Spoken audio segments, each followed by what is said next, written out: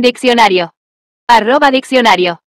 El término, ronco, se utiliza para describir un sonido que es áspero, grave y poco claro, generalmente debido a algún tipo de irritación o esfuerzo en las cuerdas vocales. Cuando una persona tiene la voz ronca, suele ser por causas como el resfriado, el exceso de uso de la voz o la inflamación de la garganta. El adjetivo también puede referirse a sonidos emitidos por objetos o animales que tengan características similares, como un rugido o un ruido mecánico que sea bajo y áspero.